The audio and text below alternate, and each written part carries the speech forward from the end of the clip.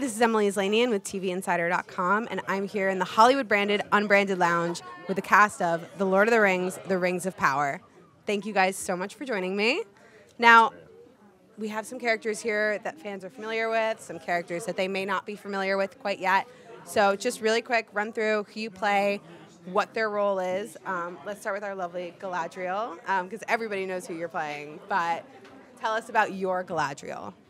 Um, so I'm playing Galadriel in the Second Age, which is thousands of years before the books, The Lord of the Rings, that we all know so well. And um, she's going through a lot at this point. She's an elf alone in the world. Yeah. She was very mysterious. Go ahead. She is very mysterious. Yeah. Uh, my name is Lloyd Owen. I'm playing Elendil, who is a Numenorean. He's the 38th great great great great great great great grandfather of uh, Aragorn, and where we find him at the beginning of the series is uh, trying to battle between his head and his heart, getting pulled into the politics of Numenor, but trying not to. Beautiful. Hi. Hi, I am Nazanin Boniadi and I play Bronwyn. Uh, she is a Southlander. She's a human and she's the mother of a rebellious teenage son and in a forbidden romance with an elf. Uh oh. My name is Leon Wadham. I play Kemen, who's a Numenorean, who's also involved in the political sphere of the island. Um, I'm Benjamin Walker. I play High King Gil-galad, and I'm, um, I'm King of the Elves.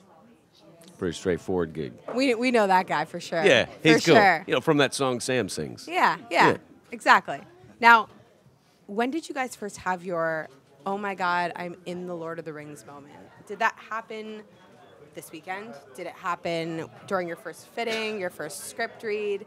What, like your first time on set? When did you have your, that, oh my gosh, I am really in the Lord of the Rings?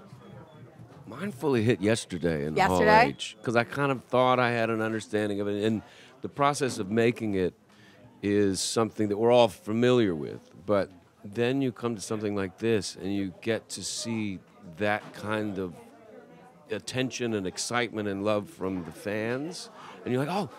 These are my fellow people. We're, like, I'm a fan, you're a fan, and we're doing this thing. It's very exciting. And that, that for me, like I, there's before Hall H and after Hall H and it was nerve wracking, and I'm glad that it's over. But now I'm like, oh, we, we're doing a thing. A big thing. Yeah. A really big thing. Yeah. Yeah. And it, and it feels supported, and that people are as excited to see it as we are to share it with them. Absolutely. Anybody else have their, oh my God, I'm in the Lord of the Rings moment they want to share? I think for me, it was watching it. We, we, we as a cast, saw uh, the first three episodes uh, a few days ago, and to share the experience with these guys who we've, we've bonded so much and leaned on each other so much over the past three years, um, and to see my friends on screen and cheer them on, and um, as a fan, like I'm now a fan, you know? Right. Yeah. That's beautiful.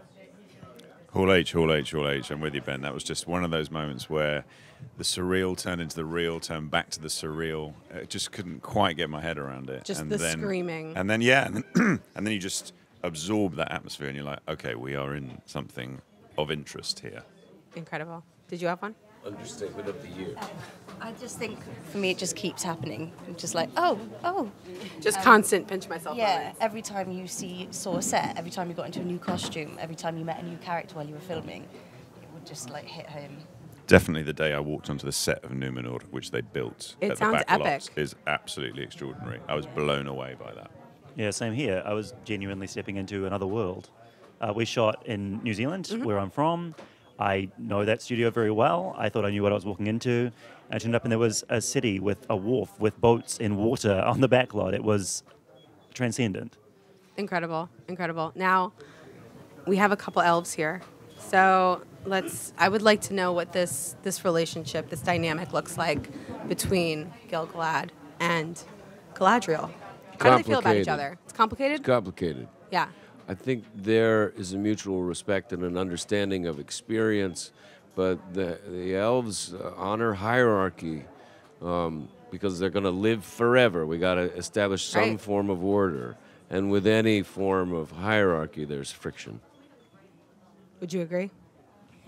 Yeah, and um, there's the elves are all very old, very clever, have seen a lot, and so um, there's a bit of arrogance between them as well. I'd say which Okay. kind of seems fair enough. Yeah, Fair it's like a fair enough. thousand year long marriage. Yes. You know them so well. That's oh, pretty you're brutal. doing that thing you do. Could you not Yeah. again? there you are. Oh, it's you. That's fantastic. Now, I read that it took you um, three hours to get into your armor for this. Did anybody else have any like insane lengths of time in the costume? The dwarves Wardrobe just department get. just took forever. The dwarves got it. Yeah. Yeah. But three hours for that armor? Yeah. I mean, it's incredible. It's like a Rubik's cube in terms of getting it on. Um, yeah, and there'd be about there'd always be at least four people kind of working on me at one time. it just feels like this octopus kind of coming and Oh my work it goodness. all out. But um, yeah, it's amazing, and it, it really it, it was helpful for being Galadriel because.